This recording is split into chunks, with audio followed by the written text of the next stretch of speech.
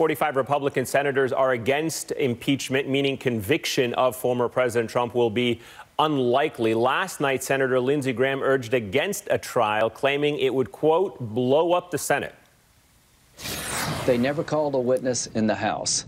If there's an effort by the Democrats to call a single witness in the United States Senate, they had no record in the House. There will be delay of this trial. There will be a Pandora's box being opened. We will want witnesses, and this thing will go on for weeks, if not months. Here to react to that is Democratic Senator Tammy Baldwin of Wisconsin. Senator, thank you so much, as always, for your time. So you just heard Lindsey Graham's threat there, but we also heard earlier from Democratic Senator Tim Kaine say that an impeachment trial with 45 Republicans already opposed in principle is a poor use of the Senate's time. Do you believe a trial is still worthy? Oh, without question. I think that uh, we must press forward. Um, one of the unique things about uh, this impeachment trial is that uh, the Senate jurists were all eyewitnesses to uh, the impeachable offense. That is, the president inciting a violent insurrection in the Capitol as we were doing our solemn constitutional duty to certify the election results. And it was a, a, an assault on our democracy, on Congress, on the Capitol building, that citadel of democracy.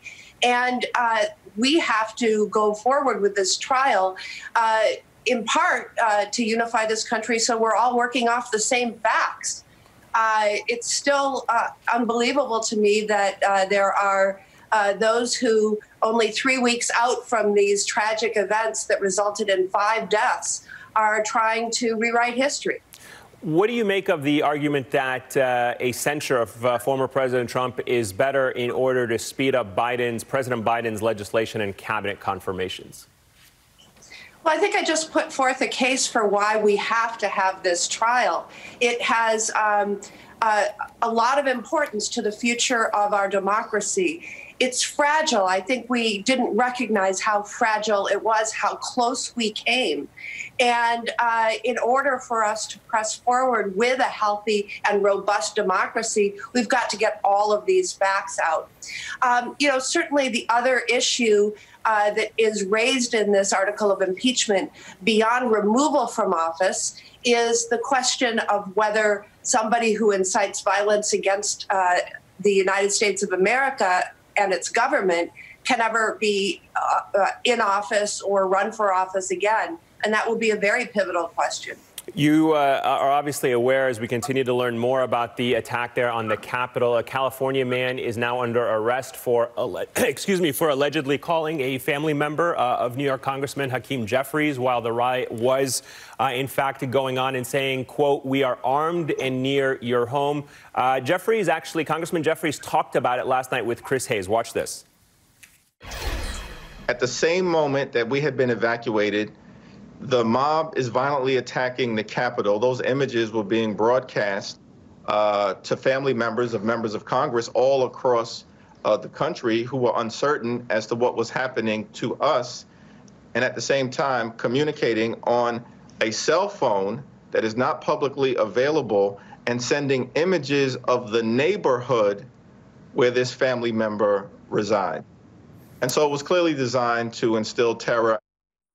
So this would suggest a level of coordination and, some kind of uh, plan to threaten these members of Congress in a way that has not been previously reported. Have you personally faced an increase in threats leveled at you or your family or, or friends that you're aware of?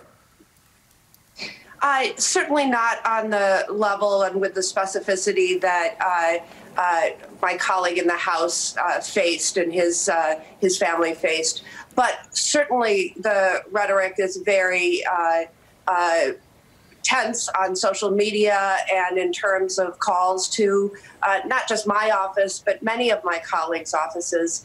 And, uh, you know, yet again, another reason to go forward with this uh, trial.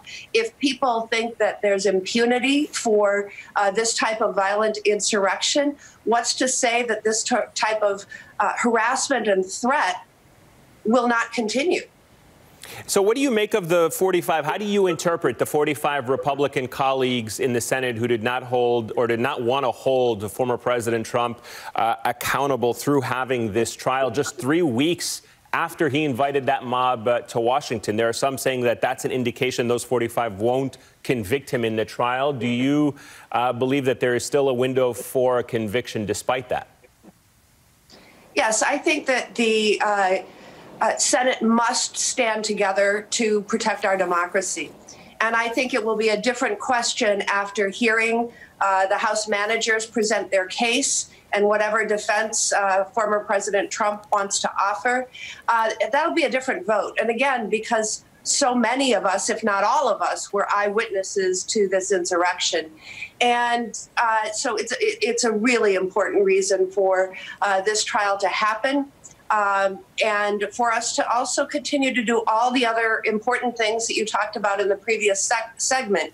Uh, we're working on the nominations, confirming uh, several already, several of the pipeline for this week and next, and also taking uh, our steps to uh, pass the uh, COVID rescue package that uh, Biden has offered.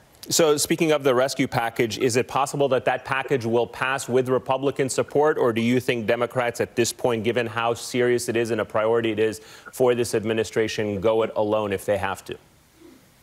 Well, I believe it will receive bipartisan support in the House um, if they start.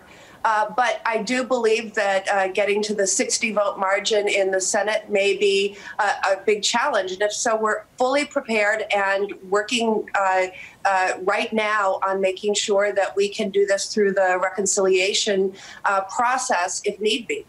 All right, Wisconsin Senator Tammy Baldwin, thank you so much for your time. Greatly appreciated as always. Thank you.